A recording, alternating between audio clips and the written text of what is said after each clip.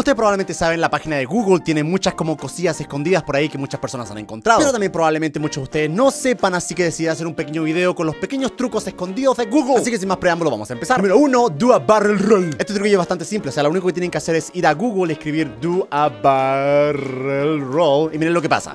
Y la página de Google lo único que hace es dar una vuelta. Esto obviamente es una referencia a los juegos al juego famoso juego de Nintendo 64. Y, ese es como el truquillo que muchas, que todavía existe, pero no sé, es como simpático si ustedes lo quieren probar. Ahí vayan a Google y escriban eso y sale. Ahí va de nuevo. Oh. Número 2, Esto también funciona como el de recién, lo único que tenemos que hacer es escribir ASCII, algo así. Y Google lo único que hace es torcerse un poco, o sea, no, tiene más ciencia que eso. Es bastante simple, pero es un pequeño truquillo ahí que hace que toda la pantalla se gire. No tiene ninguna, eh, ninguna razón de ser, solamente está ahí, por lo que sé yo, así que simple, pero es un truquillo. Número 3, el monstruo del lago Ness. Todos alguna vez hemos ocupado el Google Maps para encontrar nuestra propia casa y cosas así. Y todos sabemos, por ejemplo, todos conocemos que si uno quiere ver como la vista, la vista de, de las cosas como son en persona, tenemos que agarrar este monito que está acá abajo y lanzarlo a la página que nosotros queramos. O sea, a la calle que nosotros queramos y vamos a poner tener la, vista de, de lo que o sea, de la calle que señalamos. Y conocemos el clásico monito que está ahí como volando, que está ahí como que yu, yu, yu, yu. Todos conocemos ese clásico monito amarillo que nos indica dónde queremos poner el monito en el mapa. Eso es como lo normal que pasa en todos los lados, o sea, en todos los mapas. Pero si ponemos lago Ness en inglés en el buscador, pasa algo completamente diferente. Por ejemplo, vamos al, al lago Ness y ahí estamos en el lago Ness, pero miren el, monito que sale acá abajo, que sale para señalar el lugar donde vamos a ir. No es el monito amarillo típico, es el, el monstruo del lago Ness. De hecho, es como un pequeño icono. Está ahí, ¿lo ven? Está como que yo. Es un pequeño icono que representa al monstruo del lago Ness. es como una pequeña bromita, no sé si es una pequeña bromita, pero es como un pequeño easter egg ahí que está escondidito. Que no sé, es simpático, mírenlo. Número 4, cuando nos quedamos sin internet. Todos alguna vez hemos tenido problemas con el router en la casa y no tenemos internet y estamos como que Si ocupas Chrome, hemos visto este pequeño dinosaurio que está ahí cuando que aparece cuando no tenemos internet. lo que algunas personas no saben es que este dinosaurio no es solo una pantalla que aparece, es también un juego. O sea, si empezamos a cargamos la página, si empezamos a apretar la tecla para arriba, mientras la página, la página está no cargada, eh, se, eh, se, pone un juego que es bastante simple, pero es un juego. Es como un juego escondido del Google Chrome que aparece cuando más lo necesitamos, que es cuando no tenemos internet. Así que si quieren jugarlo y no lo conocían, probablemente muchos de ustedes ya lo conocen. si no lo conocían, ahí está y, tienen una entretención cuando no tengan internet.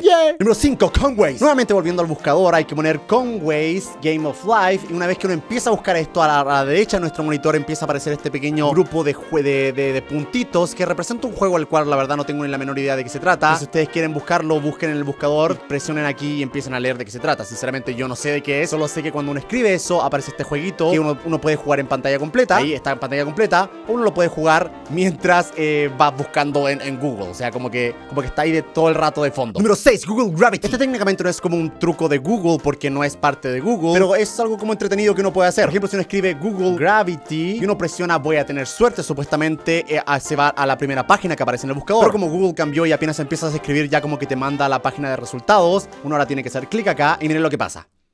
Google automáticamente se cae. O sea, como que toda la barra y toda la página se cae así como que...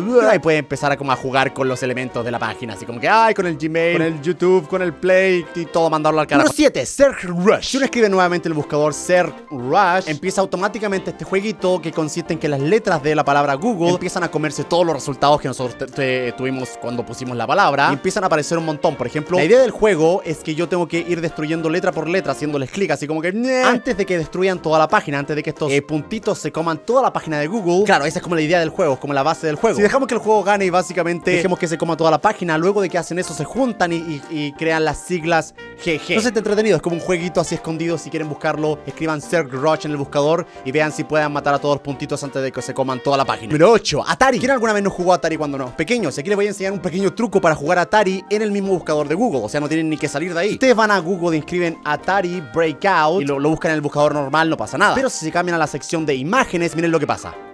Yeah. Toda la imagen, o sea, todas las imágenes del buscador se convierten en el clásico juego de Atari. O sea, literalmente podemos reventar con la, con la barrita que tenemos abajo todos los... Eh, podemos reventar todas las imágenes. Eh, no sé qué pasa al final si pasas el juego. Creo que solo ganas el juego y, y sigues con otro nivel. Pues nada, es como el pequeño juego ahí escondido de Atari que si quieren jugarlo, si quieren jugarlo, vayan a las imágenes, escriban la palabra Atari Breakout. Y, ya, no necesitan nada. Solo tienen que escribir literalmente eso en el buscador y ya. Número 9, Dog Meme. Este otro truco lo podemos encontrar en YouTube. Tenemos que entrar al buscador de YouTube normalmente como uno entra todos los los días y poner dog meme. Y una vez que le damos clic a buscar, todos los que son las fuentes de los videos y todos los títulos y todo, todo, todo, todo, se convierte con las letras eh, del meme, o sea, con las letras estas de colores, con el típico, con el típico asunto. Y una vez que eh, reseteamos todo el asunto, o sea, si nos vamos de nuevo a otra página y ponemos youtube.com de nuevo, no hay ningún problema. Y por último, el número 10, el Harlem Shake. ¿Quién no se acuerda de esa canción típica que estuvo pegada en todos lados? El Do de Harlem Shake. Todo, todo el mundo bailó y todo el mundo se puso ahí como a bailar sin ropa enfrente de la cámara porque estuvo de moda. Y YouTube, como para guardar ese, esa, esa época en, nosotros, eh, guarda un pequeño truco. Si nosotros, por ejemplo, eh, ponemos Do de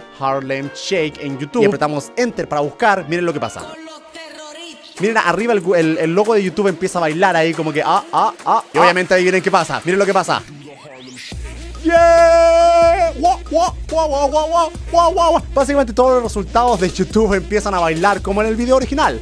Empiezan a moverse. Ahí está mi video, ¿lo ven? Ahí está mi video bailando. Baila, baila, baila. Y luego se acaba la canción y vuelve toda la normalidad. O sea, como que si no hubiese pasado nada. Pero chicos, esos fueron 10 trucos de YouTube que probablemente muchos de ustedes conocían. Pero quizá muchos de ustedes tampoco eh, no conocían, así que yo se los quise mostrar. Para que ahí se metan a Google y empiezan a escribir palabras y decir, wow, ¿qué pasó? Bueno chicos, espero que les haya gustado el video y denle me gusta si quieren que haga más videos de este tipo. A ver si les gustó, a ver si les pareció interesante. Quizás no, quizás sí. Díganme ustedes en los comentarios. Nada, suscríbanse que subo video todos los días. Les mando un abrazo gigante, los quiero mucho, cuídense. Bye bye. Hola chicos, bienvenidos a Todos alguna vez hemos jugado Mario Bros, todos alguna vez hemos rescatado a la princesa y todo eso. Este juego va a ser como a la inversa, vamos a jugar con los malos del juego y nosotros tenemos que matar a Mario. La historia de este juego es que supuestamente Mario no